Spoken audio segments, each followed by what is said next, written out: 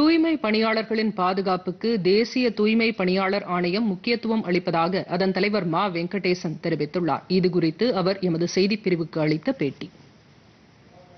Sir இப்போ துப்புரவு பணியாளர் ஆணையத்தினுடைய தேசிய தலைவராக நீங்கள் பொறுப்பேற்றிருக்கீங்க. இந்த ஆணையத்தின் மூலமாக இந்த துப்புரவு பணியாளர்களுக்கு என்னென்ன செய்யலாம் சார்? நான் பொறுப்பேற்று நான்கு மாதங்கள் தான் ஆகியிருக்குண்ணே இது. இந்த நான்கு மாதத்தில் ஒரு ஏழு மாநிலங்களுக்கு நான் சுற்றுப்பயணம் செஞ்சுருக்கேன். இந்த சுற்றுப்பயணத்தின் மூலமாக பல்வேறு நடவடிக்கைகள் எடுக்க வேண்டும் என்கின்ற ஒரு எண்ணம் எனக்கு தோன்றியிருக்கிறது. குறிப்பாக நான் தமிழ்நாட்டை சேர்ந்தவன் என்கின்ற அடிப்படையில் தமிழ்நாட்டில் கிட்டத்தட்ட ஒரு ஏழு எட்டு மாவட்டங்களுக்கு நான் வந்து ரிவ்யூ மீட்டிங் போயிருக்கேன். இந்த ரிவ்யூ மீட்டிங்கில் நான் கண்டடை க- கண்டடைந்த விஷயம் வந்து தூய்மை பணியாளர்கள் ஒப்பந்த தூய்மை பணியாளர்கள் அவங்களுடைய அவர்கள் படுகின்ற கஷ்டம் போல வேற யாருமே கஷ்டப்படல சார் இங்கே.